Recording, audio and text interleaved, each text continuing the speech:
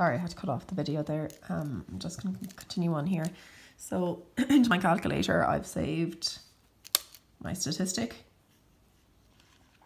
Um, the 535 over 625, which turns out to be 85.6%.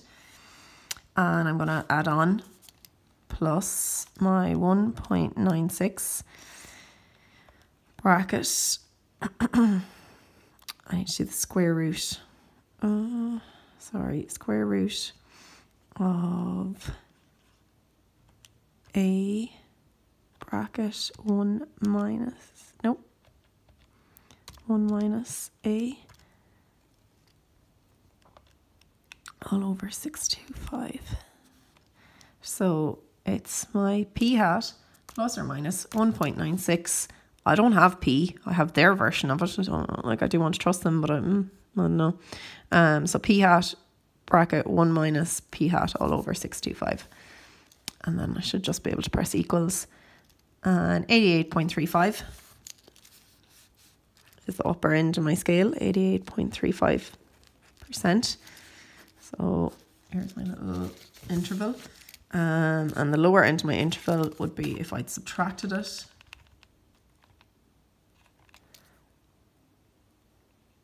Sorry.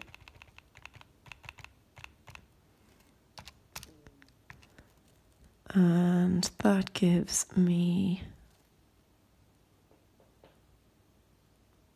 no, sorry. So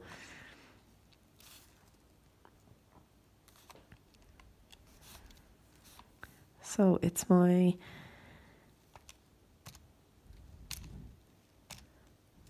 that minus uh, 1.96 bracket square root of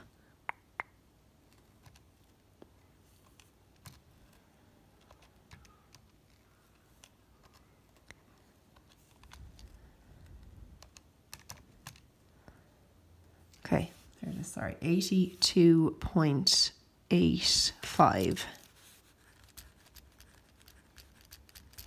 So my interval from, okay, it's not perfect. It is from a sample. You know, I'm, I'm doing it at 95% level of confidence, so I'm not always going to be right. But from my sample, my interval is about this, and I'm 95% confident that the real answer, the real proportion of Ryanair flights lies within this interval. Now I'm going to write that a little bit more matsy.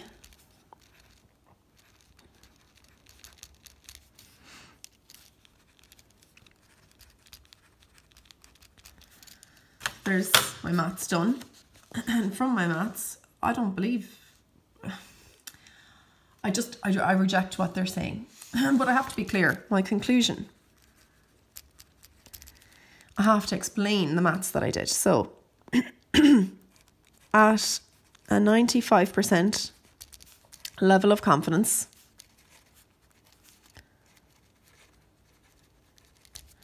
I reject the claim that 93% of Ryanair flights arrive on time.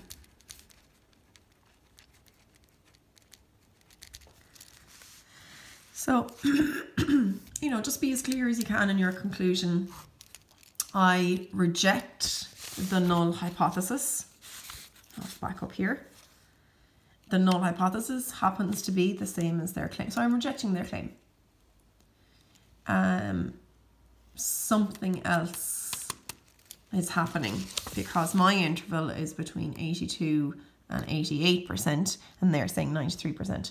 So... Uh, from the, the statistics that I've done from the sample that I've taken, I'm rejecting their claim. So I hope I've explained that as clearly as possible. What I would then do is, obviously if you feel, feel free to ask questions, but I would probably look at this example. So it's example 5.11 in your log table or in your book. And I might be able to read it all there.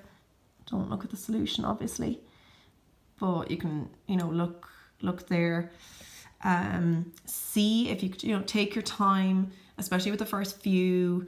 Um, see about the claim that they've made.